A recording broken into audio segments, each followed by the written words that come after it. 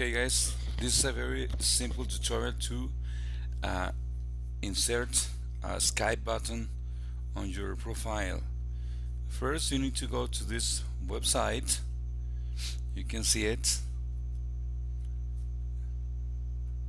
Then in the website you're gonna have a screen like this.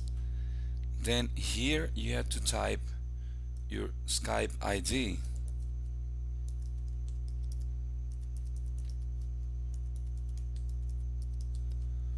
this is mine and then you have six different options.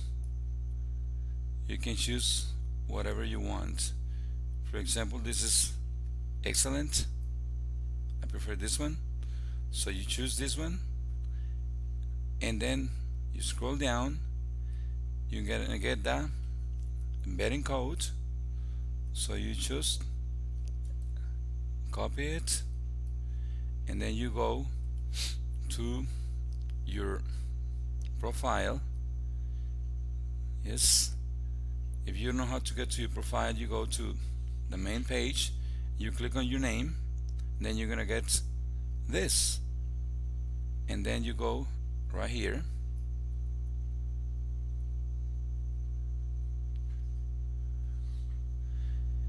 And scroll down and in this part you're gonna insert a Skype button at the bottom of this. But first you need to click on toggle HTML source. Look at this. Look at this. This is text and this is HTML you, you don't need to know. Then before you paste the code you have to write these tags you need to center the the button.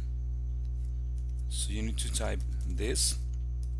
And then right there in the middle you just paste the code.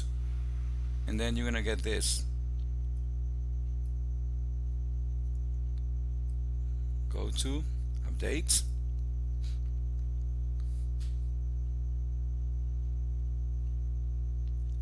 and then you have it here that's it